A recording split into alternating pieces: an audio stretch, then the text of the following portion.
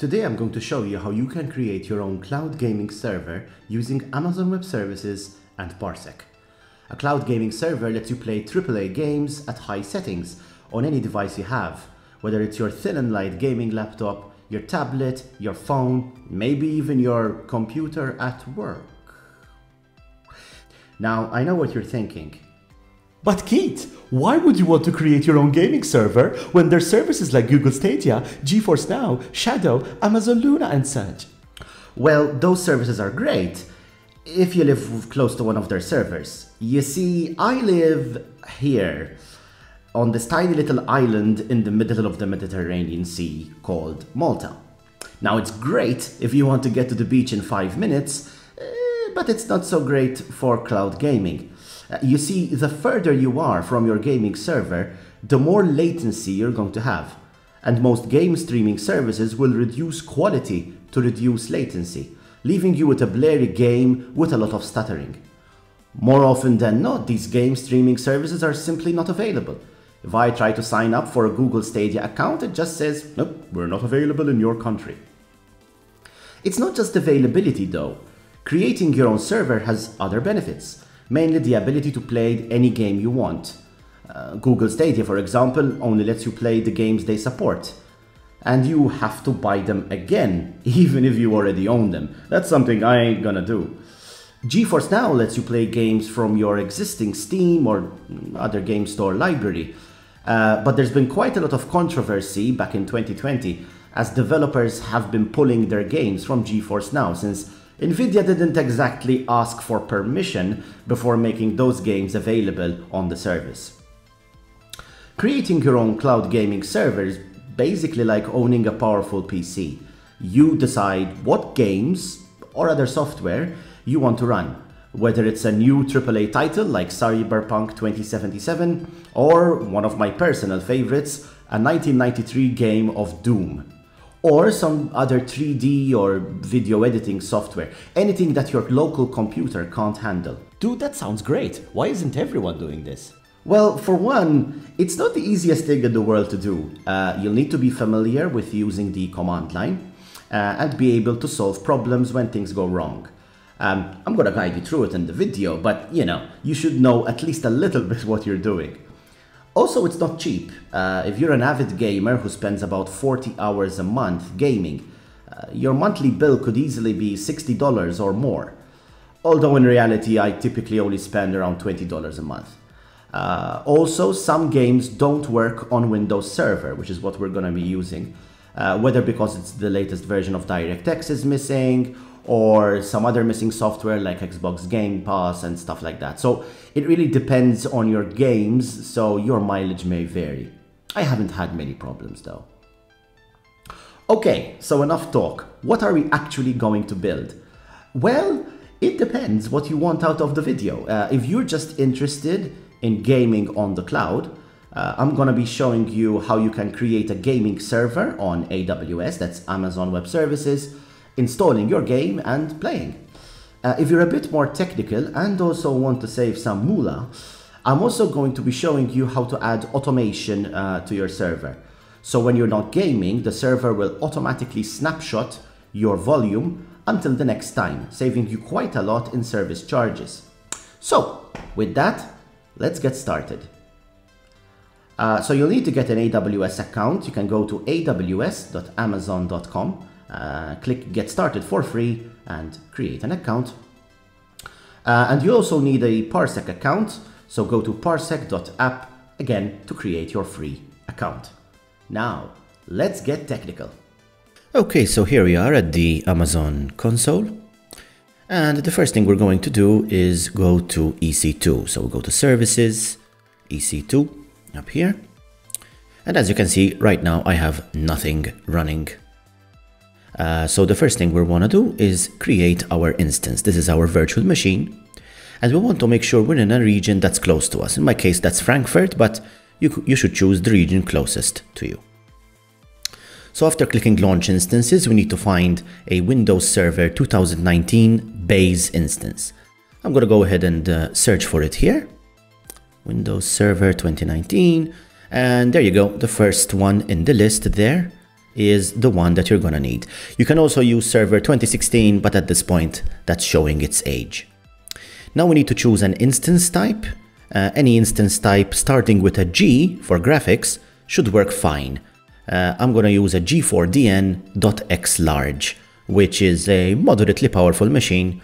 Um, I can run Doom Eternal on nightmare settings on that, so it's fine for me. We'll click next. Uh, now you don't actually need to change any settings here, uh, but of course, if you know what you're doing, you can. And uh, so we'll go ahead and click add storage. And here you have to choose the size of your disk. Uh, I'm gonna choose uh, 512 gig. Uh, you might want to use a different size. Okay, so that's up to you. Um, however, the larger the size, the longer it will take to create a snapshot.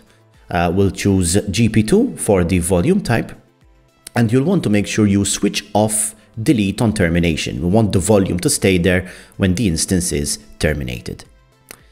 Uh, now we'll click next to add tags, and I'm gonna add a tag here just to give the instance a name. So the key needs to be name with a capital N and the value will be the name for your gaming rig, which I'm gonna call Guru Gaming Rig. Make sure that the name is applied to both the instances and the volumes. Okay, now it will be applied to the network interfaces too, but we don't really need that. We'll click next.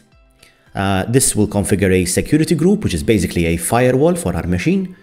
I'm gonna give it a name. And this will basically just allow RDP access from any IP address at this point. Uh, so I called it Guru Gaming Rig SG and then a little description. Now we can click review and launch to actually launch our instance. Next, we'll click launch. And here we have to create a key pair, which will let us log in to our server. I'll click create a new key pair and give the key pair a name, Guru Gaming Rig key uh, we'll download this key pair and we can click launch instances. Now we're going to be creating quite a few files during this process, so I suggest you create a folder somewhere on your system where you're going to store all the files related to the gaming rig, which is exactly what I'm doing here. And I'm going to get the key I downloaded and place it in that folder. Okay, so now if we click view instances, you'll see that there it is, our gaming rig uh, and as you can see here, um, I have all the settings shown and uh, the status check column is initializing. Okay, so our gaming rig is currently logging in. Next, we need to connect to it. So we click connect and switch to the RDP client tab and we click download remote desktop file. So this is a file that is used by Microsoft Remote Desktop to allow us to connect to the machine. Now we'll also need the password for this, uh, for this connection to work. So we'll click get password. Now since I just launched the instance, the password isn't available yet. So wait a few minutes until the password is available. I'm gonna go ahead and try this again. And here it is. So now to get the password, it needs to be decrypted. So we'll need to click on the browse button there and uh, specify the location of the key we downloaded earlier. So we'll click browse, I'll go to my gaming rig folder and select the key. And as you can see the key is there, we click decrypt password and there it is. We can then copy the password uh, using that icon. And what I'm gonna do is I'm gonna actually save the password in a text file, which is a horribly bad idea by the way, uh, and save it to that folder. Later, you'll want to migrate that password to some sort of password manager. Okay, but for now, mm, this will do. Okay, so we have everything we need to connect to our instance. So we'll double click on the RDP file. Uh, we'll accept the certificate warning. And when prompted, we'll paste the password and click continue. And we're connected to our rig. Okay, our server is running. Uh, however, we can't game on it yet. Uh, there's some stuff we need to install, such as a proper web browser and drivers for our NVIDIA graphics card. Luckily, the folks over at Parsec have a super handy cloud preparation tool that does just that. Okay, so we'll start by going to the link to the Parsec GitHub page. Um, let's see. Here we go. And if you scroll down here, you will see a Windows PowerShell script that you can just copy directly from the page. Okay, we'll go back to our gaming rig and from the start menu we will search for uh, PowerShell. And then we'll click on Windows PowerShell. Now when you paste uh, your content in here, you can just right click into the window. And as you can see, the content is automatically pasted and the first command will run. Uh, then press enter to actually start the script. Okay, so we're in the script now and uh, this will start downloading some stuff. So the first question is, do we want this computer to log into Windows automatically, which we do. So we'll type yes. And here we need to enter our username and password. So the username is administrator and the password is the password which we downloaded earlier when connecting to Amazon. So I'm gonna just uh, find my password from this file and copy it and I'll paste it in here and click OK. Now you may start getting warnings uh, this is due to some missing files that the scripts expect to be there, but that Amazon or Microsoft have removed. Don't worry about that for now. We're gonna see what wasn't downloaded by the script and we'll download and install them manually. If you do this, you might actually not encounter any errors, because this would have been fixed, in which case all the better, you can skip a few steps. As you can see, DirectX June 2010 redistributable was not downloaded here, but uh, we'll download that guy manually. There's also some driver for uh, Xbox controllers which will download. In the meantime, I'm logging into Parsec and since this is a new IP, I'll need to verify that this is actually me logging in. So I'll go to my email client and I'll click approve your new location. Okay, so now I should be able to go back to Parsec, click login, and here we are. Welcome to Parsec. Lovely. In the meantime, the script has carried on installing stuff. Uh, just in case it freezes, just press enter and it will continue. At this point you can see it's installing the Razer Surround installer, which is required for audio. Now you will be asked to log in. You don't actually need to do this, but since I have an account, I'm logging in anyway. And from these settings here, I'm going to enable Razer Surround. Again, you don't need to do this. I just do this because, um, well, why not, right? Uh, there are also some other settings you can play around with in Razer Surround. You need to give the script an access key so it can download the NVIDIA driver. So simply copy the link from the script and paste it into your browser. Okay, so from here we'll go to access keys and we'll click create a new access key. Uh, I'm showing it here. Uh, and what you'll definitely want to do is download this key since you cannot get it back later. So uh, click download key file and again I would recommend you place that in your folder, which is what I'm doing right here. So now copy the access key ID and paste it in the script, pressing enter, and then again copy the secret key and also paste it in the script, pressing enter. Now, do we want to save this key? If you're the only one using the server, go ahead and hit yes. And at this point, uh, as you can see, the script has detected that uh, a driver is required and it will be downloaded from the AWS support site. Uh, it tells us that we might need to reboot, that's fine, yes. And do we want to update? Yes. And here it downloads and installs the driver. Now this could take a while, I've sped it up here, um, uh, but yeah, it will install. Okay, so it says no reboot is required, so do I want to reboot? No. In case you have problems, you might want to do that. Normally at this point we'd be done, but since we had errors in our script, we need to manually download and install the files that the script couldn't install. Uh, we'll start with DirectX, and then we'll move on to the uh, Xbox 360 controller, etc. So uh, you'll find a download link in the description uh, to download the DirectX redistributable. Uh, now, the reason I'm not providing the official Microsoft download link is because it doesn't work anymore. But this website, which I found, uh, seems to have the driver, and I've checked it with a virus scanner, it seems to be fine. Uh, so we'll just click download, and then we'll click agree and download, and yet again, click download. Right, so after a few seconds, the download will begin, and um, Yep, that download is ready. So we'll go ahead and open it. And it's a simple uh, next, next, finish kind of install. We'll, now we'll choose where to extract the files. You can put this anywhere really. Uh, I'm just going to place it on my desktop and tell it to create a folder, uh, which I'm calling dxtemp. Uh, when I click OK, it says create the folder. Yes, we want to do that.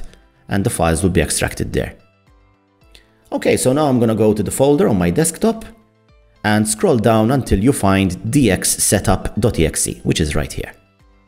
So we'll uh, run this setup, read the license agreement, accept it, and click next a few times to get it installed. Um, okay, so DirectX has been installed. Now, I don't do it in the video, but you can then remove the folder from your desktop. Now, the next thing we need to install is the Xbox controller driver. Um, link is in the description. Now you may be wondering why I'm not giving you Microsoft download links for these two. Well, here's why. The files don't exist anymore. Microsoft has removed them for whatever reason. So this is why I'm giving you separate links for DirectX and for uh, this Xbox driver. So again, you'll find this link in the description. Uh, click on download now. And after a few seconds, the download should automatically begin. And yeah, there it is. So we'll open this guy, uh, read and accept the agreement. Next. And it should only take a few seconds to install. All right, so the installation is complete. Lovely. The Parsec utility includes two scripts which can automatically shut down your machine or give you a warning when it's been on for an hour. These are really useful. So I'm going to set up the one hour warning Okay, so after I've been playing for an hour, I know I'm going to be billed for another hour. And I'm also going to set up auto shutdown. Now you can choose uh, the number of minutes after which your system has been idle that auto shutdown is triggered. Uh, I'm going to set this to 45, but you can use any number you want as long as it's more than 20 minutes. Okay, so if I forget to switch off my server, it will be automatically switched off. So at this point, uh, we're mostly done. Uh, you may want to configure some Parsec host settings. So from Parsec, uh, I'm gonna click on the cogwheel icon to get into the settings. Uh, that guy is here. And we're not interested in client settings, we'll just go to host. Uh, and you'll want to change some settings here. So the first thing I'm going to do is change the name of the system to something I can recognize, Guru Gaming Rig. Uh, now on Windows, leave the use client resolution setting Okay, um, alternatively, you can set it to 1080p or the resolution you want to game at. On a Mac, I recommend you use the same resolution as your desktop to avoid problems. I'm also increasing the bandwidth limit to 50 megabit, um, and you can set some, some stuff here. Now you'll notice I've set the FPS to 60, that's only for the recording purposes, okay? Um, unless you have a really good internet connection, uh, you may want to stick to 30 FPS. Okay, so next what we're going to do is install Steam. Now, for some, this, this is not required. You can install whatever other store you're using, but I'm a Steam kind of guy. Uh, so let's go ahead and download Steam here. And next, and English, yes, next, install, blah, blah, blah, yada, yada, yada. And we'll run Steam. And after a few updates, you'll be asked to log in to Steam. And so we'll log into our account here. And here we go.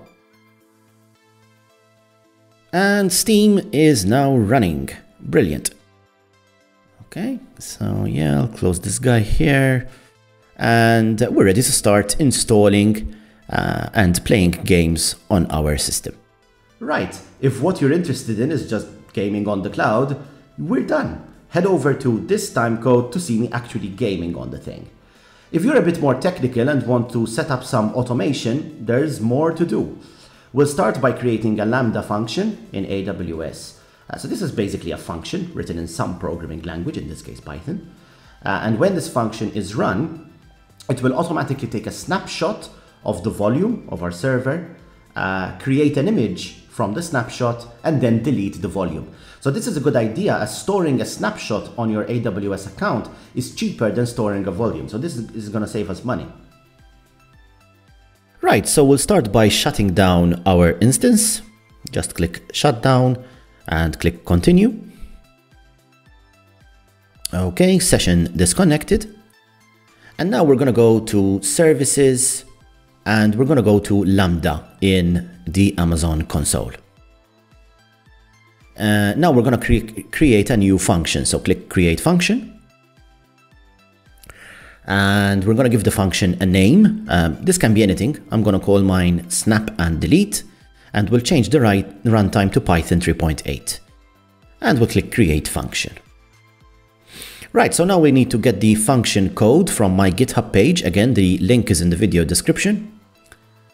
Um, now what I would do is click on raw, so we just get the code itself, select the whole thing, copy it, and then in the Lambda console, just double click on the file lambda function.py, select the sample code and overwrite it with what you've copied from my GitHub. Okay, so now you need to make a few changes here. So first, in this part here, we'll need to put the name of our gaming rig, which in our case is Guru Gaming Rig. Here the region can get from the dropdown on the top right. So mine is EU Central 1, so I'll just replace that. Uh, and then you might also want to set the size of your volume, which in my case is 512, which matches what I've created. So the next step is to configure some settings uh, for how this function will run, such as the timeout. Okay, so we'll scroll down to the uh, basic settings section and go ahead and click edit and change the timeout from 3 seconds to 15 minutes. Uh, we'll need that time until the snapshot is created and go ahead and click save. So now we're ready to deploy our function or save it really. Uh, so just click on this orange deploy button here and the function has been deployed. Now we need to give this function permission to manage our EC2 instances. Uh, so from the top left side, click on permissions and click on the role name that AWS created for us. Now from the screen, we need to click Attach Policies and search for Amazon EC2 Full Access. Okay, so Amazon, ideally spelled correctly, there we go, EC2 Full Access. Okay, click it and click Attach Policy. Okay, so now our function should have the required permissions. Now this is a good time to actually test that the function is working. So we'll go to EC2 here. And uh, if we look at our list of instances from here, uh, actually wait, it's not running, I'll remove the filter. There you go. You can see that our instance is stopped since we shut it down. Uh, there's also the volume for the instance that is still there. Um, uh, and if we go to snapshot, there is absolutely nothing. So the first thing we'll want to do is terminate the instance. So from the instances page, select it, instance state, terminate, and confirm. So this will start terminating the instance. Okay, it will be shutting down and then in a few seconds, there we go, it is terminated. So now that the instance has terminated, the volume is still there since we told it not to delete on termination. So we can now go to Lambda and run our function to see if it actually does anything. So we'll go to the function here and before testing it, we need to create a testing scenario, as it were. Okay, so what we'll do is from test here, we'll click configure test event and give the event some name. It doesn't really matter what you name it. Uh, in this case, I'm going to call it manual run. Okay, and click create. And now click the test button and let the function run for a few minutes. This could take a while, guys. I'm speeding it up here. So when the function is done, click on details to see these three lines, created snapshot, deleted volume, created image. That means that the function did what it was meant to do. Fantastic. Okay, our function is done and it's working. Now, at this point, you'd need to run this function manually every time you shut down your gaming rig, which is not ideal. Uh, luckily, we can tell AWS to automatically run the function for us when the server is shut down. So let's do just that. So to set up the event, we'll go to the Event Bridge AWS service. Uh, I'll just search for it here. Event, there we go, Amazon Event Bridge. And click Create Rule and give the rule a name. Uh, I'm gonna call it um, Snap and Delete on Termination. Okay, uh, we can add a description if we want to. I'm just gonna add a simple description here. I really need to learn to type. okay, uh, now our pattern is an event pattern. Uh, we'll click predefined and choose AWS as our service provider and EC2 as the service name. The event type is EC2 instance state change notification and we'll change it to a specific state which is terminated. So this event will run when an EC2 instance is terminated. Uh, leave any instance tagged as our script will then target the right instance automatically. Now we select a target or what should happen when this event runs uh, and we'll just choose our snap and delete lambda function. And optionally, we can also tag this. Uh, I'm going to give it a name of snap and delete event and we'll click create. Okay, so now our event has been created. Nice! So we shut down our server, the event kicks in, runs our function, and automatically takes a snapshot.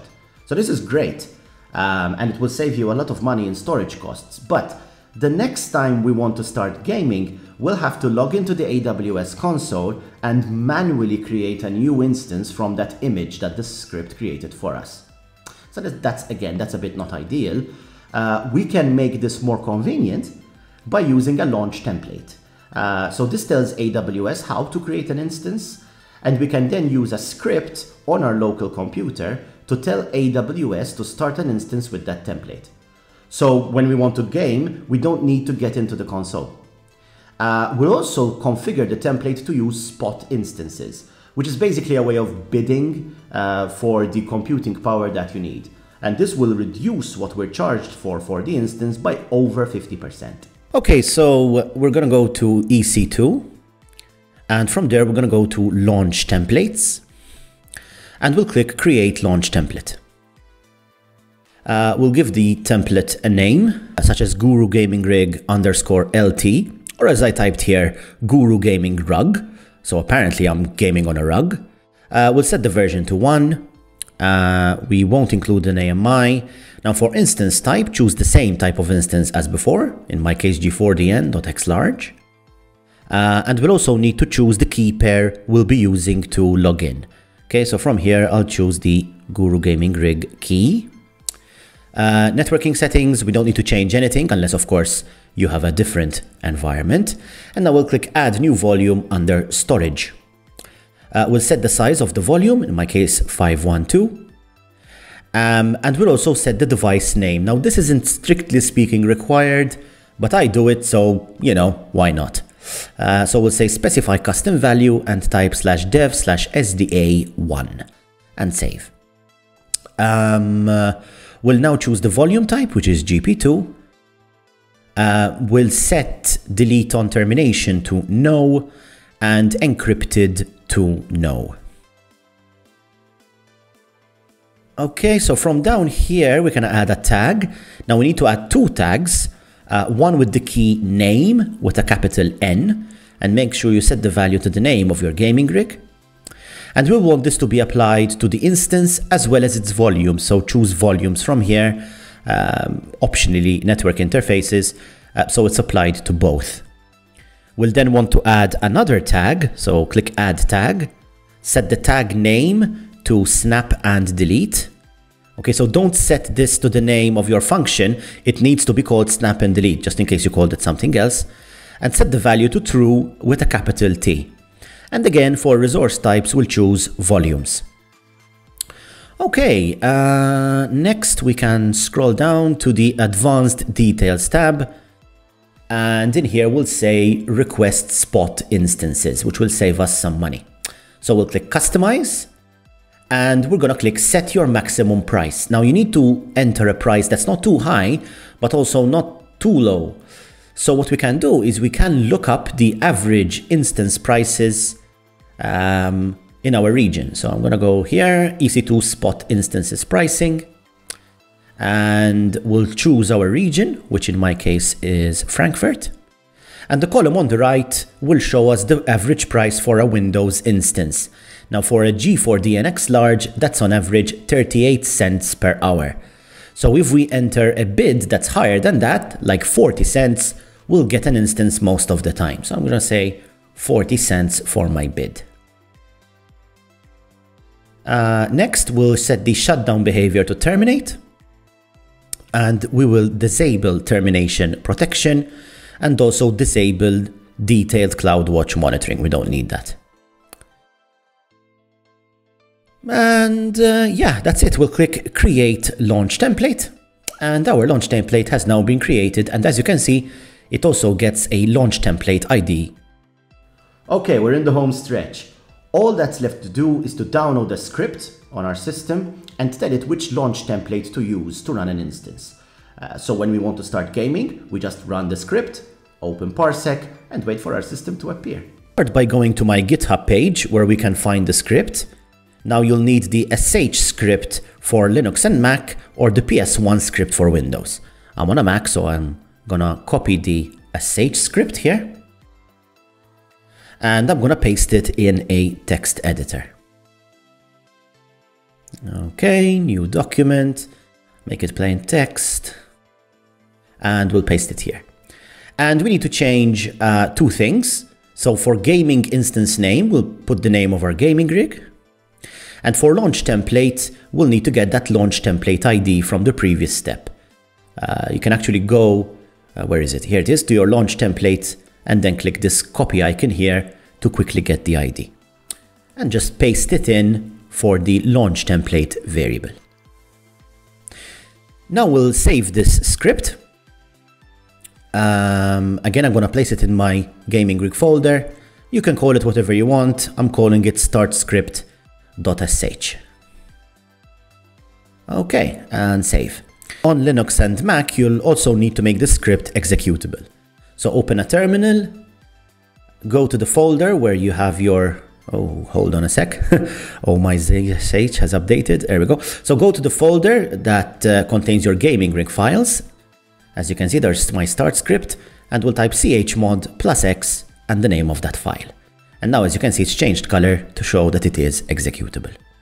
So now all that's left is to actually run the script. The script requires the AWS command line utilities to work.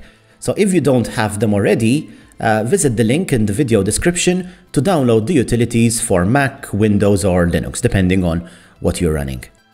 Once you've done that, uh, type AWS configure to configure the utilities. So we'll need our access key ID. That's the same ID we downloaded earlier. So I'm just gonna copy my access key ID and paste it. Okay. Now we'll need to do the same for the secret key. Okay, so again, I'll go copy my secret key and paste it.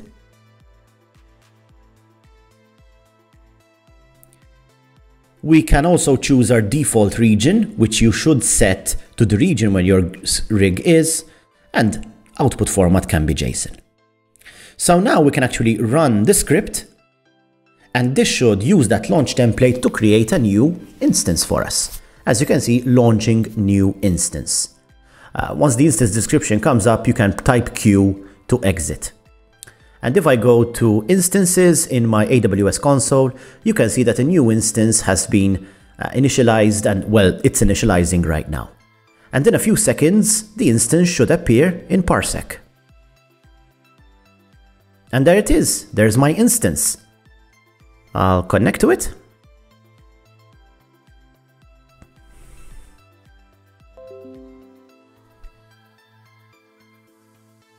And there we are, connected to our instance. We sometimes need to re-log in to Steam. This doesn't always happen, but you know, just log in again. Okay, we're all set. Let's test it and play some games. Okay, let's get a game installed here. Uh, I'm gonna use Doom Eternal. Uh, now, since I have another Steam machine running, I'm just gonna switch this to this machine. I'll click install and I'll uh, go through the download and setup process.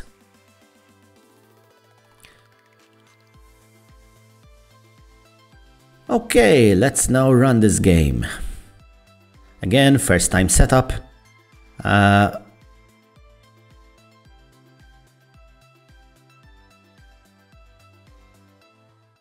okay, and we're running the game. Now again, guys, I'm recording uh, at the same time as doing this. Um, so you might get some choppy audio here or video. Uh, in reality, it looks much better than what you're seeing here. Anyway, uh, let's play. So I'm gonna go to the campaign. Actually, first, let's configure the resolution. So I'm gonna click uh, the settings icon here and set my resolution to 1080p, which it's not right now. So uh, let's set it to 1920 by 1080. All right. And uh, yeah, that's fine. Uh, these settings are all on Ultra Nightmare, guys, here. Okay, I'm just gonna choose a random level. Uh, let's see here. Yep, okay, Doom Hunter base.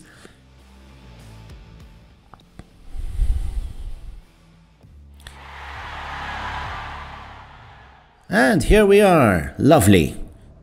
Okay, so again guys, um, if the if the video is choppy or, or the sound is choppy, this, I wasn't experiencing this whilst actually playing the game. Uh, it's just my screen recorder being a bit wonky. In reality, it was much more fluid than this is. But as you can see, here we are, playing Doom Eternal from another country. Um, uh, so yeah, oh, this, this game is so addicting. I actually felt like actually playing now. Uh, but anyway, um, you can see it's running fine. Okay, all my inputs are being processed. Um, I still had motion blur turned on here, which I hate. Uh, so I'd normally switch that off. Um, but yeah, yeah, it's working just fine.